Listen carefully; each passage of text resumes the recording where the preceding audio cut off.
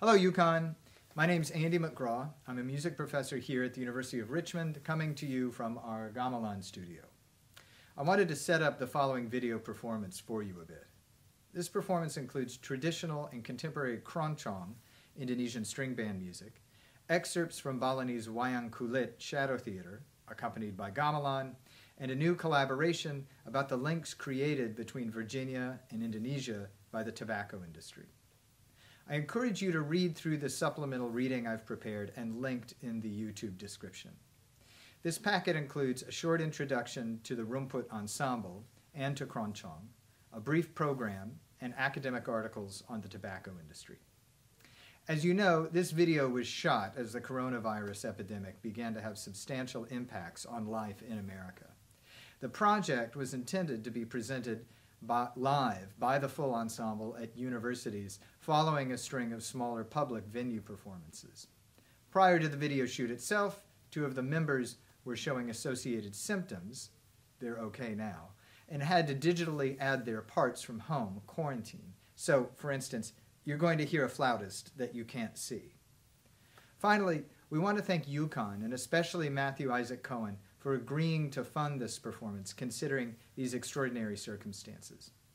We all know that watching a video just isn't the same as having the opportunity to experience it live and ask questions of the performers afterward. But the funds we're able to raise for Gusti are even more important now. If we think the pandemic is going to be bad in the US, it's going to be worse in Indonesia, given its healthcare system. And these performances, these funds from these performances, will help him weather inevitable changes. Thank you, enjoy the show, and feel free to, feel free to reach out to me at A McGraw, A M C G R A W, at richmond.edu if you have any questions. Thanks.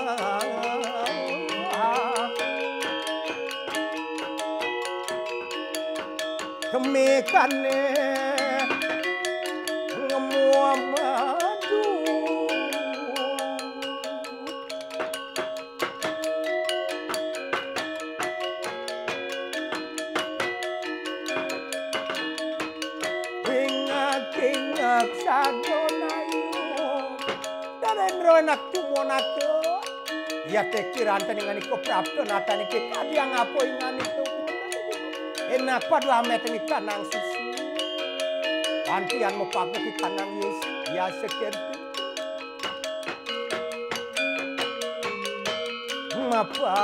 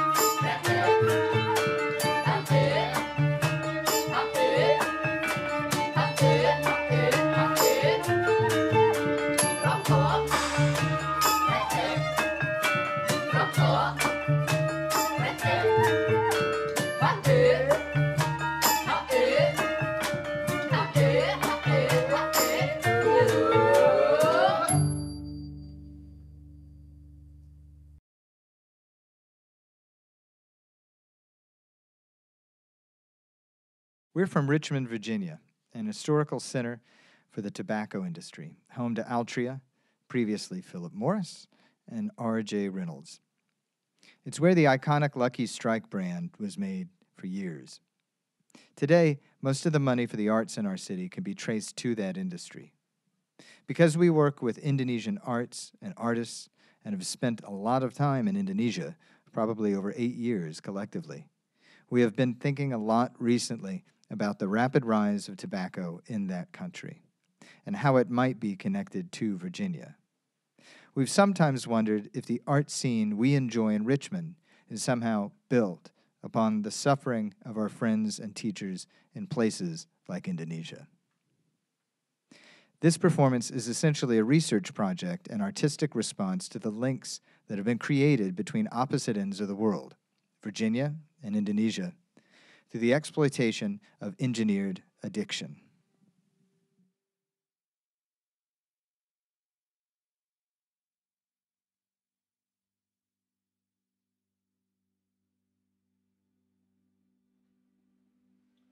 When we think about tobacco and cigarettes in America or Indonesia, we are thinking about the distribution of wealth, power, control, and health.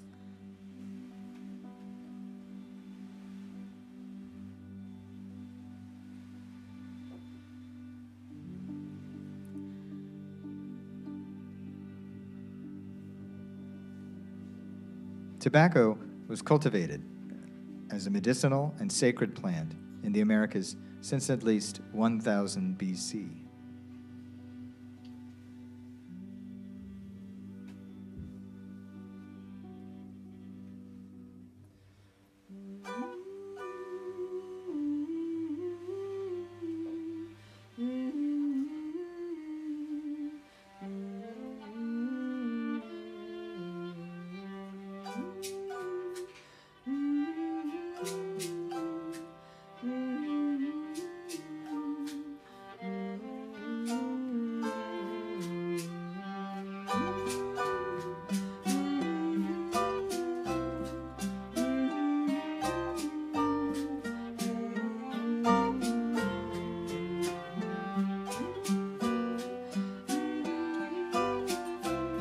John Rolfe in Jamestown was the first colonist to grow tobacco, learning the complex art from the local Powhatan. In 1614, the first shipment was sent to England.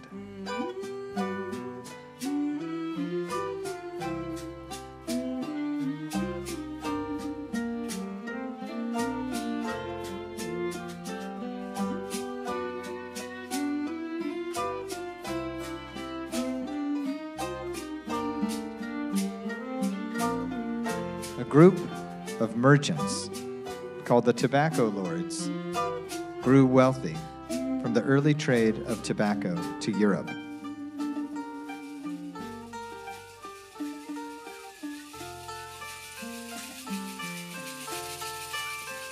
Their greed established a vicious cycle of exploitation and profit.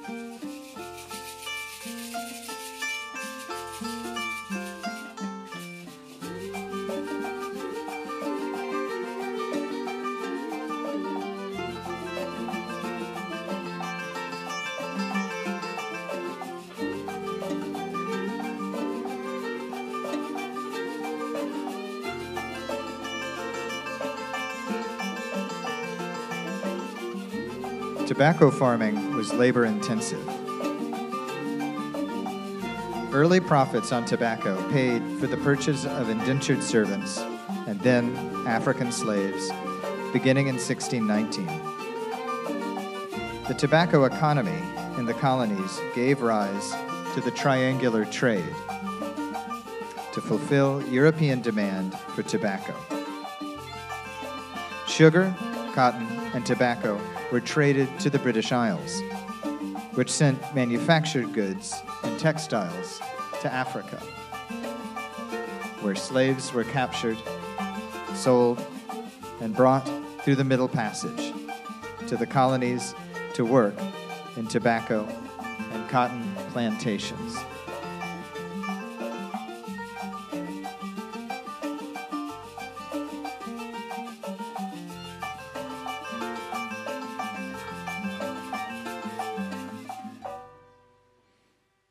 1700, tobacco was a major industry and habit in Europe and its colonies in Asia. Europeans began to use their colonies as cheap places to produce tobacco, including the Dutch East Indies, now Indonesia, an archipelago of 17,000 islands located north of Australia.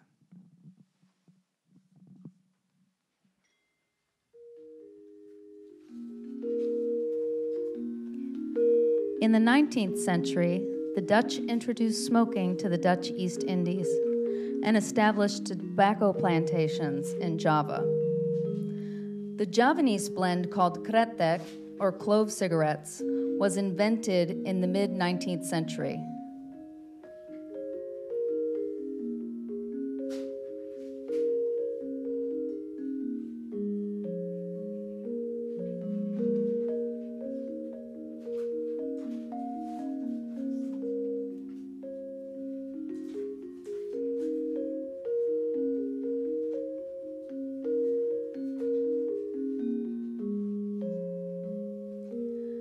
Kretek contained much higher tar and nicotine concentrations, four times more than Marlboro.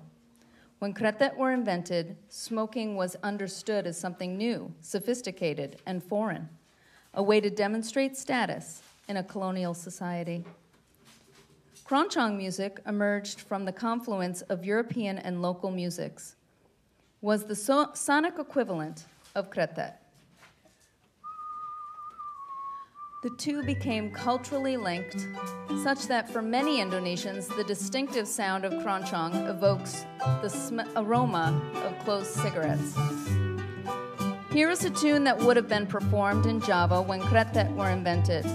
Keroncong Moritsko evokes colonial era, era Batavia, now Jakarta, for many Indonesians.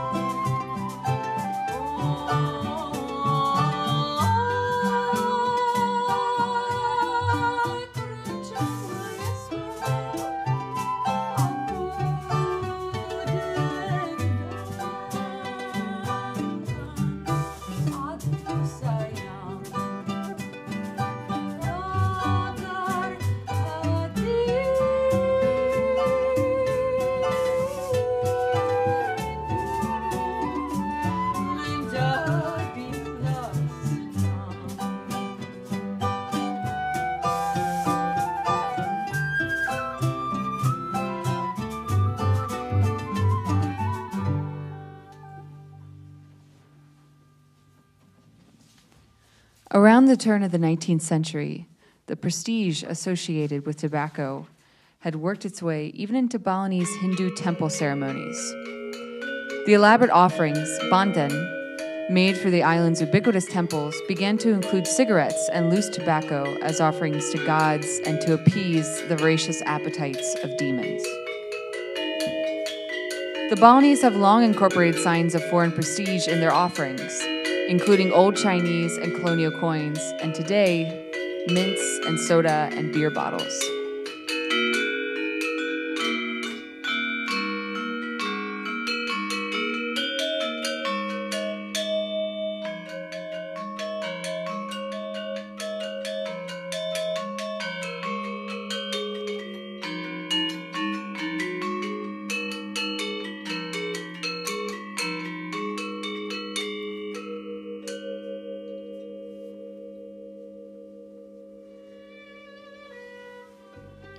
Tobacco grown by the local Native Americans in Virginia was considered too strong for pipe smoking. It was mostly chewed. But just before the Civil War, a new strain called brightleaf tobacco was grown by Lewis Ginter in Richmond. Because this happened around the time of the California gold rush, East Coast farmers called brightleaf, which turned a warm yellow after being cured, Eastern gold. This is what the brand name Lucky Strike referred to because growing bright leaf was like hitting a gold seam.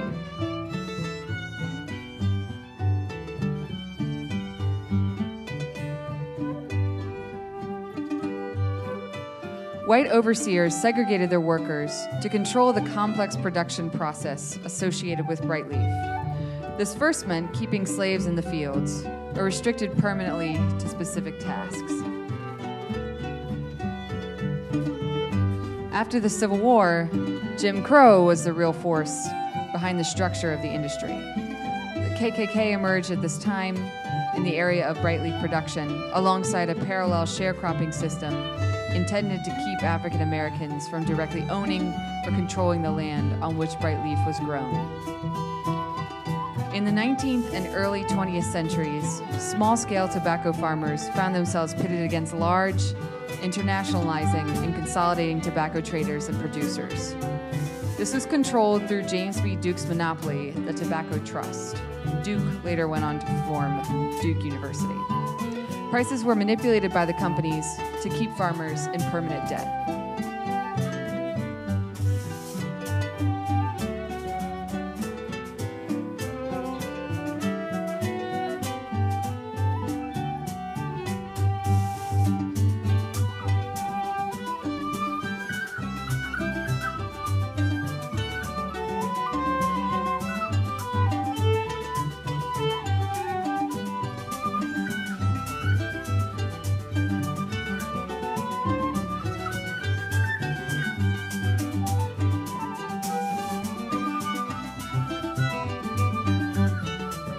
When Duke began investing in cigarettes in the early 20th century, they accounted for only 2% of American tobacco products. In America at this time, cigarettes were viewed as a decidedly foreign object, associated with Europeans and low class immigrants. The tobacco companies also faced pushback from a surprisingly diverse collection of social activists Christian moral reformers, efficiency evangelists, health advocates, suffragists, nativists, and eugenicists. While we're more familiar with the prohibition on alcohol, between 1830 and 1910, 15 states prohibited cigarettes. Some activists expressed fears about how cigarettes would blur the lines between the sexes. Men who smoked were described as effeminate, while women who did received special scorn. They risked the premature degeneration of the sex glands, according to homeopath physician turned cereal magnate John Harvey Kellogg.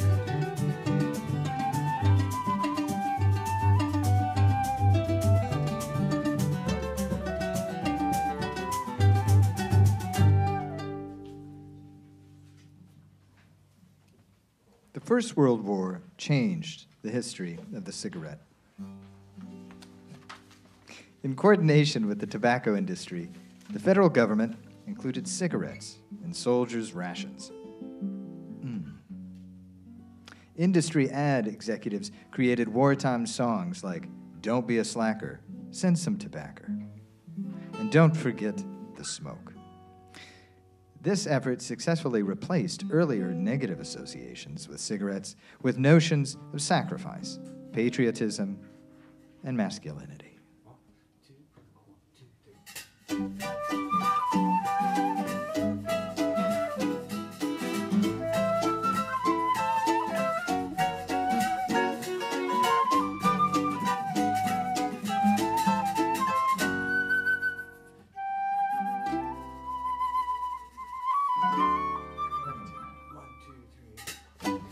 Positive images of cigarettes were amplified by Hollywood and early product placement. While in 1915, the U.S. produced about 18 billion cigarettes, by 1930, this increased to 124 billion. Companies poured their profits into sophisticated advertising and product research. Sometimes a cigar is just a cigar, sometimes not. Early television and radio advertising appealed shamelessly to children or to sexual innuendo or sometimes both, as in the case of this Muriel cigar jingle from around 1950 from an animated TV ad featuring a cigar performing a striptease.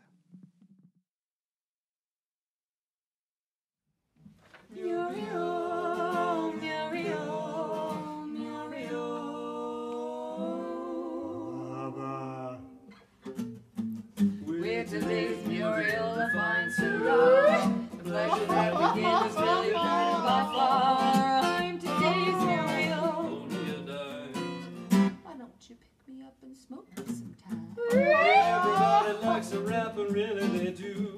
It's luxury light and it's pleasant for you. She's today's Muriel, mellow and right. You're gonna like me, friend, I'm just your type. I bet I will. Seems to shave. Firm and trim and handsome, so easy to take. I'm today's Muriel. Only a dime. Why don't you pick me up and smoke me sometime? Muriel, Muriel cigar. Anti tobacco sentiment in the U.S. has often figured smoking as an individual failure of judgment at will. By a two to one margin, smokers and non smokers alike blame smokers rather than the tobacco companies for smoking related diseases. But this overlooks just how insidious and sophisticated tobacco production and advertising have been. And ever since the mass production of sheet music, songs and jingles have been closely tied to tobacco. Light up the light smoke of Lucky Strike. The right smoke, the light smoke, the Lucky Strike. For the taste that you like, light up a Lucky Strike.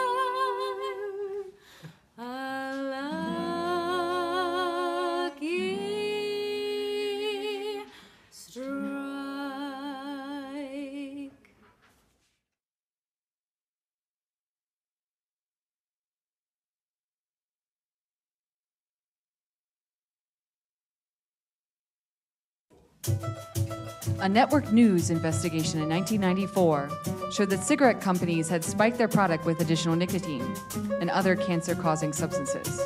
The scale of the health effects, first indicated by the studies published decades earlier, started to become obvious. This led to the string of lawsuits against Big Tobacco, culminating in the Master Settlement Agreement in 1998. The major companies agreed to end advertising to youth. The agreement required the companies to pay billions to the states for 25 years until 2023. In return, the companies received immunity from future class action lawsuits. But states depended on the settlement for revenues, which were largely used to balance state budgets. Recognizing this, a J.R. Reynolds vice president said in 2003 there's no doubt that the largest financial stakeholder in the industry is our state governments.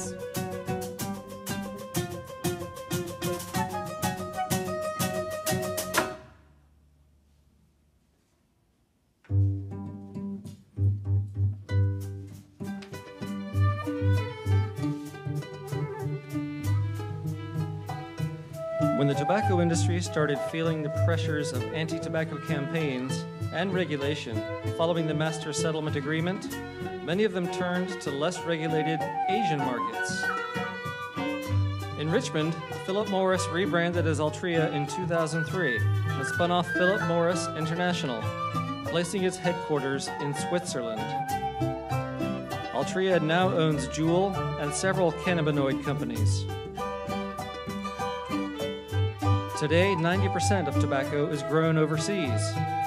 China produces seven times the amount of tobacco as the US.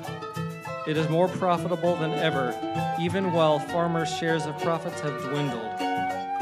Philip Morris International had annual net revenue of $30 billion in 2018. Altria's was 26 billion.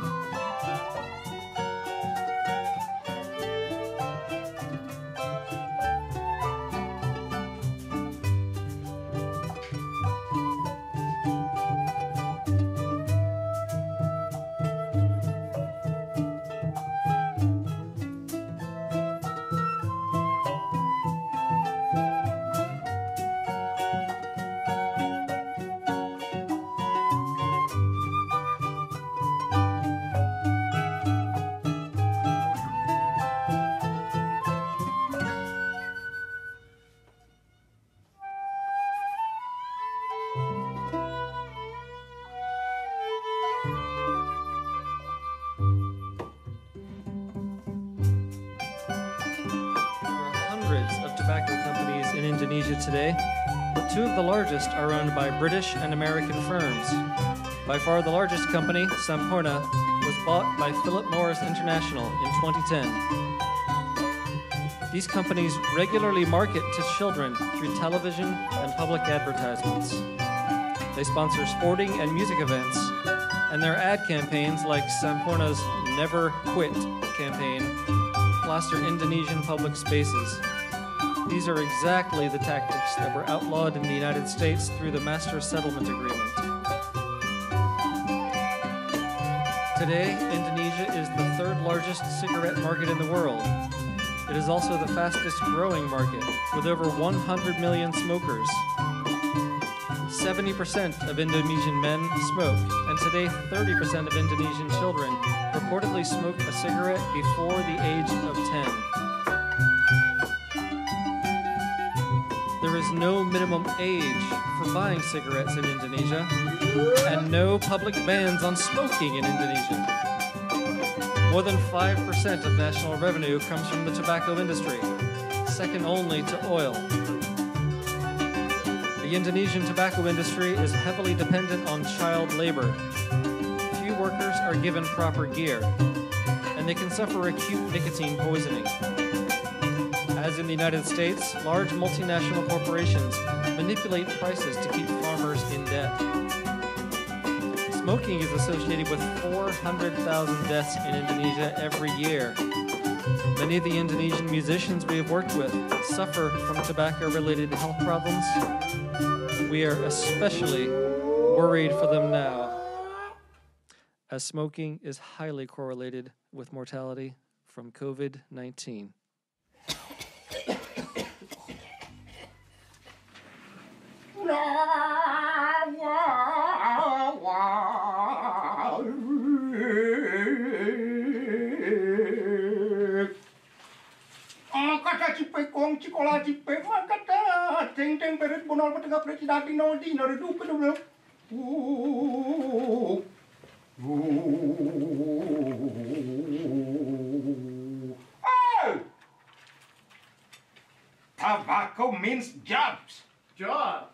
Ah, Yeah, jobs. I need a job. tobacco means livelihoods. Yeah. Yeah. Great. Yeah. Great. Hmm. Tobacco means life. Life. Hey, Life. Life. protect our tobacco premise. Okay? Yeah. Forward. Yeah. Smoking releases stress and depression. I'm stressed. Relax. I need that. Oh. Are you a smoker? Yeah. If so, you are lucky and happy. happy, happy, happy. Whoa! Right. Happy, happy, happy, happy. Tobacco. What?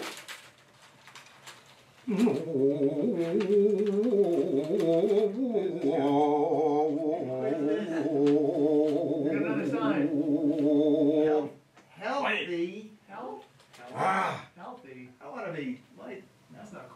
don't waste your money on cigarettes, okay? Yeah.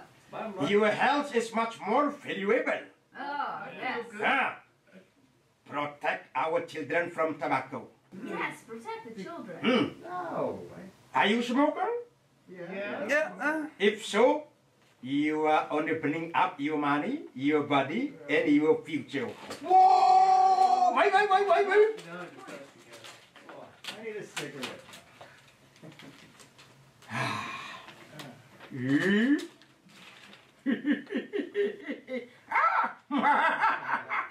hey! Stupid man! Why are you attacking us? You don't smoke, so leave us alone, okay? Yeah, what does he know? Hey! You are just pretending not to know the danger you face. Oh. And you are sacrificing everyone's health with your smoking, uh, all for money. You have no morals, you know? Mm. Ow! it is the rights of business to make a profit. So what? Okay. It has always been that way. Yeah, true. You don't even want to know the effects of tobacco.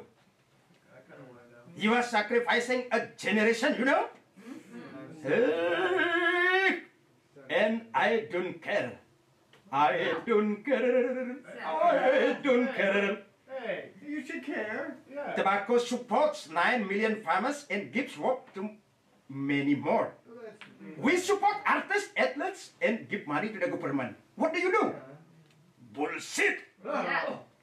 We see through your conspiracy, no moral. Go enjoy your money, and I will give you the morning prize, right? Yeah, yeah. Morning.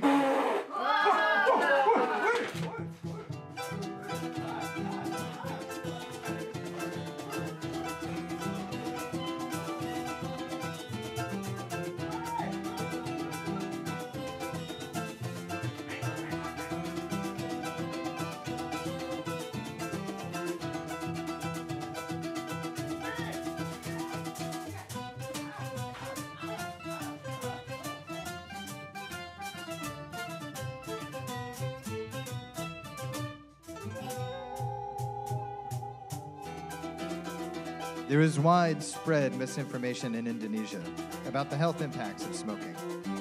Many believe that clove cigarettes are medicinal, that they can cure asthma.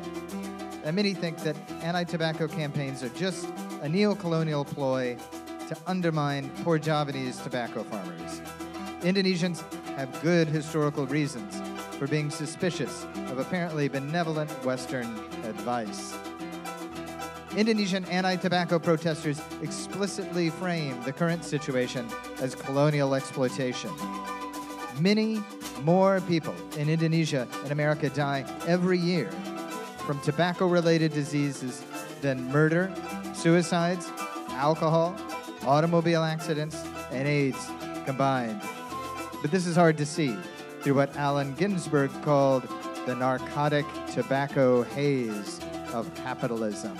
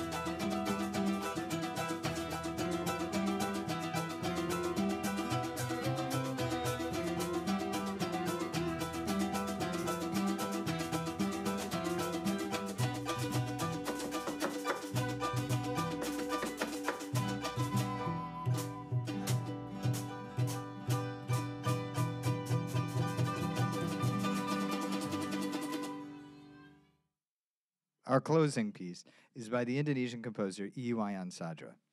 According to Pak Sadra, with whom I studied and performed, this piece was an abstract critique of corruption in the Indonesian government. He died in 2010 of lung cancer related to his smoking habit. On his deathbed, he implored the young musicians he worked with to stop smoking. Most of them still do.